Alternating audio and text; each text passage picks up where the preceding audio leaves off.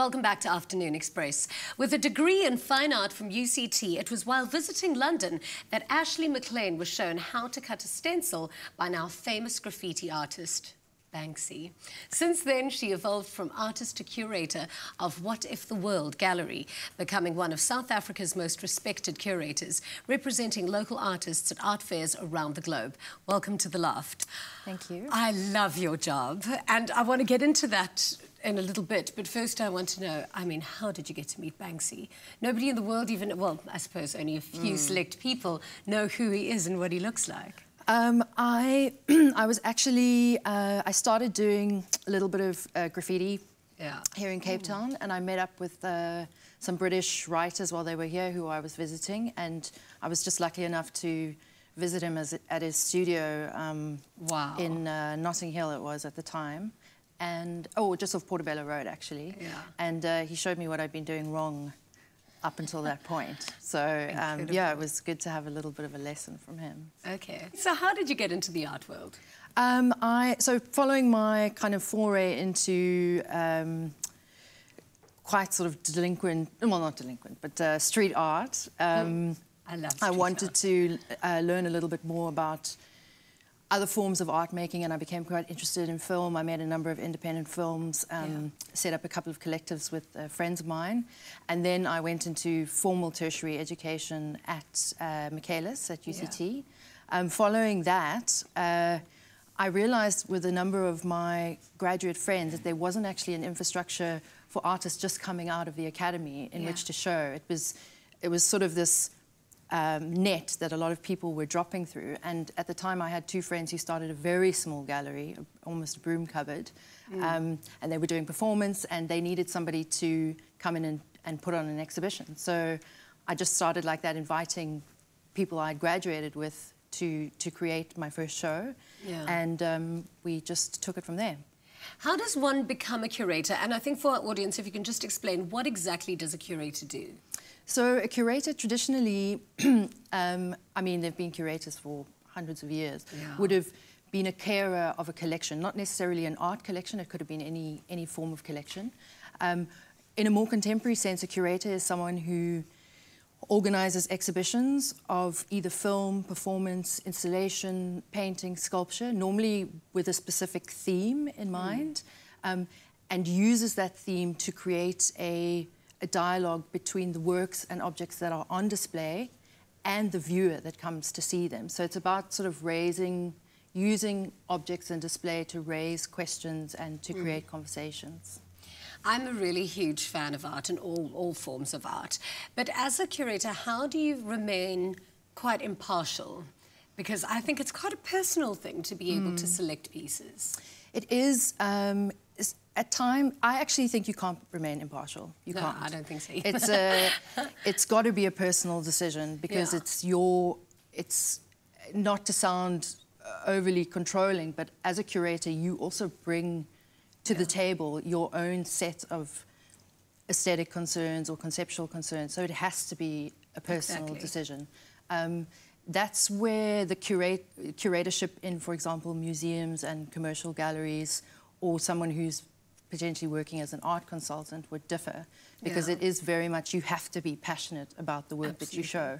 Otherwise, uh, there's no integrity in what you're doing. There's always been amazing artists to come out of South mm. Africa, if you look at mm. the likes of William Kentridge and that kind of mm. thing. But how does a mm. young emerging artist break it into the scene? Well, I think the first thing to do is to make yourself visible. Yeah.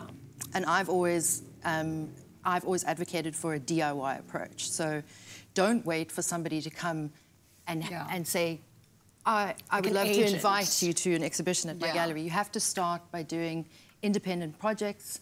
Um, I think a lot of younger artists are forming collectives. A lot of people are using, obviously, social media to... I mean, exactly. I think one of the artists I think is doing that really well at the moment um, is an artist called Lady, Lady Skollie. Oh, we've had her on the show. How amazing is Lady Skollie? Yeah, she's doing she's a fantastic phenomenal. job of um, because then, when as a younger artist, when you come to the gallery, mm. you you already have a, a, number of achievements behind you. You have a body of work. You've worked you through some of your issues. You don't necessarily need a name, but you yeah. need to show that you have the the the drive to be self-motivated and to pursue this career because Exactly. it's a very, very hard road.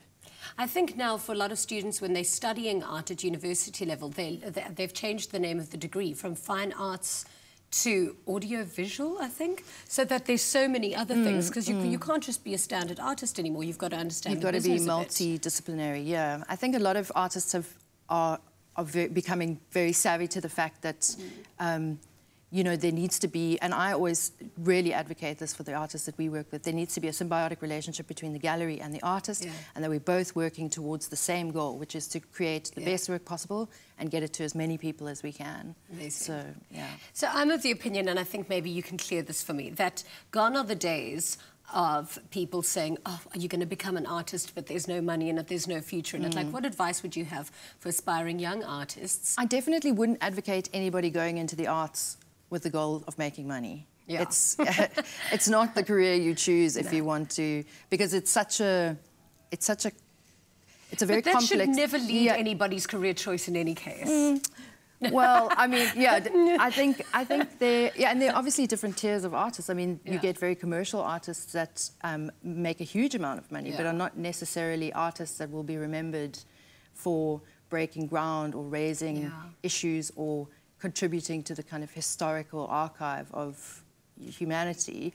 um, but I would suggest for younger artists if you are entering the, the art market, the first thing is to do is to, as I said, make yourself visible, be professional, start a website, um, create a presence, take on your own projects, approach people, look at uh, grants and funding opportunities so that you can realize these projects, um, engage with the arts community around you, go to openings, read about contemporary art, go to the museums, like really engage and immerse yourself Yeah. in it, um, because it is, it is a participatory space. Yeah. Um, So I, I don't think uh, I think people need to get you need to get out there, and then once you have that, and you can, and hopefully you can secure representation um, from a gallery, then it's a long building process. I would say probably about maybe five five to six years before Wow. you achieve. Uh, Is it rewarding, do you think? Would you recommend it? Yes, definitely. I mean, I think If art is not something that you you can uh, turn on or off. Yeah. It's something that you are driven to do Yeah. uh, through curiosity or through a desire to challenge yourself or through Yeah. a desire to challenge those around you. Um, so it's it's something that you can only do if you have a deep and lasting love Passion, and yeah. commitment. I'm really such a huge appreciator and, and fan of art that I can watch the old documentaries of old pre-Raphaelite and all those artists from you know from when art began essentially, but. I think I'm finding a lot less people are. Do you think the world is still going to appreciate art as technology arises and as people just get so busy with stuff? Do you think there will still be that same And, and are binge watching series Yeah, exactly. every weekend. Yeah, Um, on their phones the whole time. I mean, No, I do. you I actually change, think I think? I think that uh, technology will f- it will feed a desire Yeah. for. I mean, yes, sometimes there is this there is just a deluge of stuff, and you have to sort the wheat from the chaff. Yeah. But um, I think that as the world becomes more visual Mm-hmm. and more connected. There's an entire group of people that haven't actually been able to access that information Exactly. uh, up until this point. And I think that that will only lead to greater knowledge, greater inquisitiveness, greater curiosity and engagement. I hope so. Yeah, well, I absolutely love chatting to you, and I cannot wait to come and see your gallery. Thank you so much for Thanks, coming on the Jean. show. Thanks very much. Now, it was Pablo Picasso that said, Art washes away from the soul the dust of everyday life. It's thanks to the dedication of Ashleigh and all those who support the arts in our country that encourage us to appreciate the wealth of talent on African soil. Five Roses salutes all the artists of South Africa who inspire us through their creativity. We're giving away a fabulous Five Roses gift pack containing an assortment of all of their delicious teas. And to stand a chance to win, simply SMS the keyword Five Roses, your name and city to double three seven two eight. SMSs are charged at one rand fifty each, and T's and C's do apply. So visit our website afternoonexpress.co.za for details. Join us again this time next week when we will be chatting to yet another exceptional South African woman. And until then, remember that nobody makes better tea than you and Five Roses. Express yourself.